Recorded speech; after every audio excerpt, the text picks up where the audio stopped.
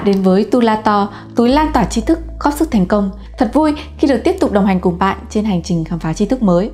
Có lẽ bạn đang mắc kẹt trong thói quen làm mọi việc theo một cách từ ngày này qua ngày khác để tạo ra kết quả tương tự. Tất nhiên sẽ dễ dàng làm việc hiệu quả hơn khi bạn có óc sáng tạo. Nhưng nếu bạn cảm thấy mình chẳng có một chút sáng tạo nào thì sao? Bạn có phải là người luôn cảm thấy lo lắng khi sếp yêu cầu phải động não để đưa ra ý kiến sáng tạo trong cuộc họp? Hay chẳng bao giờ bạn có thể giải thích nổi một câu đố tư duy đa chiều? Nếu tư duy đa chiều không phải là điểm mạnh của bạn, đừng cảm thấy tuyệt vọng nhé và cũng đừng lẩn tránh những tình huống khiến bạn phải tư duy đa chiều. Bạn có thể rèn luyện kỹ năng này. Còn rèn luyện thế nào thì cuốn sách Tư duy đa chiều, phương pháp sáng tạo không giới hạn của tiến sĩ Edward de Bono sẽ hướng dẫn bạn. Tác giả Edward de Bono là người đầu tiên đưa ra khái niệm tư duy đa chiều, lateral thinking. Nhà văn triết gia lừng danh này là tác giả hàng đầu trong lĩnh vực nghiên cứu phương pháp tư duy sáng tạo và huấn luyện kỹ năng tư duy. Trong nhiều thập niên, từ khi Bono giới thiệu phương pháp tư duy đa chiều, khái niệm này đã xác lập được vị thế trong hệ thống ngôn ngữ của chúng ta và được sử dụng trong các bài giảng vật lý, các buổi diễn thuyết, truyền hình hay các buổi brainstorming. Ông đã viết được hơn 60 cuốn sách. Sách của ông được dịch ra 20 ngôn ngữ và có rất nhiều người đang giảng dạy các phương pháp của ông trên khắp thế giới. Ông cũng từng được mời thuyết giảng tại các trường đại học danh tiếng như Oxford, London, Cambridge, Harvard và được đánh giá là một trong 250 người có đóng góp quan trọng nhất cho nhân loại. Những tác phẩm kinh điển bán chạy nhất của tiến sĩ Bono có thể kể đến như Sáu chiếc mũ tư duy, Tư duy đa chiều, Tôi đúng, anh sai. Trong cuốn sách Tư duy đa chiều, ông tập trung giải đáp hai câu hỏi chính. Thứ nhất là tại sao cần coi tư duy đa chiều như một kỹ năng không thể thiếu? Và thứ hai là thực hành tư duy đa chiều như thế nào để sáng tạo và tái cấu trúc cách nhìn sự vật và để trả lời, tác giả đưa ra sự đối sánh giữa tư duy đa chiều và tư duy chiều dọc thông thường. Từ đó chỉ ra bản chất cơ bản và vai trò của tư duy đa chiều.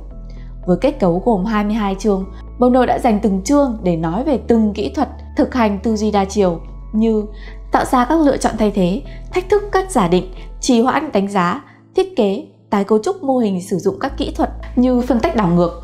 Mỗi chương sách lại được chia làm hai phần. Phần đầu nêu ra nội dung căn bản, lý thuyết và đặc tính của quá trình được thảo luận.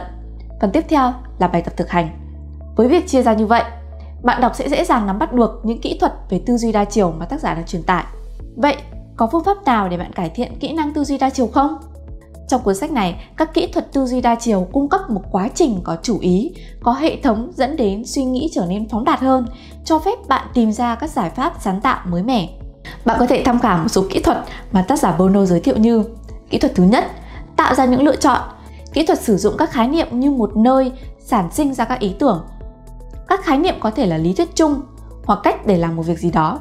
Suy nghĩ theo nhiều cách khác nhau để tạo ra nhiều lựa chọn là một cách tạo ra ý tưởng lúc này, bạn hãy đặt mục tiêu số lượng về ý tưởng mà bạn muốn và hãy hoàn thành mục tiêu đó. Sau đó, bạn có thể đánh giá từng lựa chọn cụ thể để tạo ra nhiều ý tưởng hơn nữa. Kỹ thuật thứ hai, tập trung. Bạn có thể tập trung vào các lĩnh vực mà người khác không bận tâm để suy nghĩ. Làm như vậy có thể dẫn bạn đến một ý tưởng đột phá, đơn giản chỉ vì bạn là người đầu tiên chú ý đến lĩnh vực đó. Kỹ thuật thứ ba, thách thức.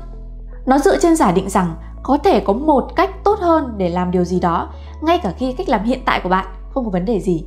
Đây là lúc bạn thoát khỏi tư duy truyền thống và những cách làm đã cũ.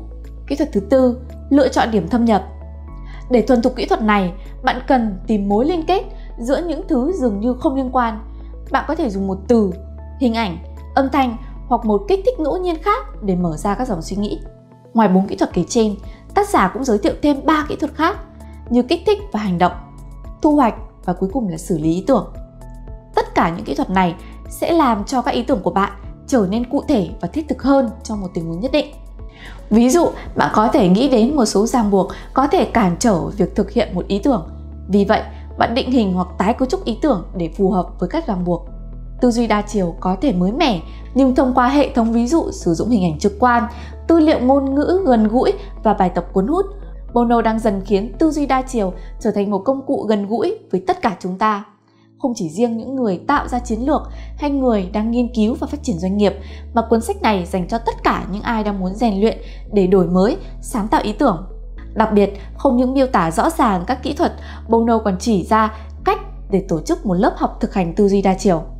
ông Kỳ Công đưa ra những tư liệu phục vụ cho việc thực hành các hình thức tổ chức buổi học để các giáo viên tham khảo.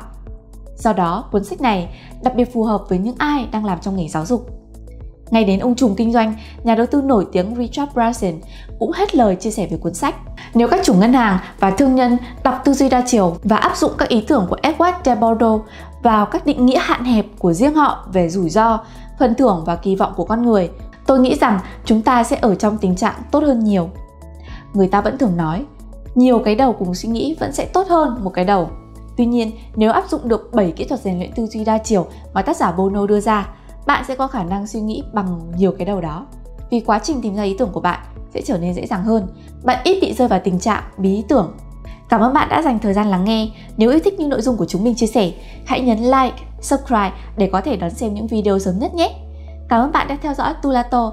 Tạm biệt và hẹn gặp lại!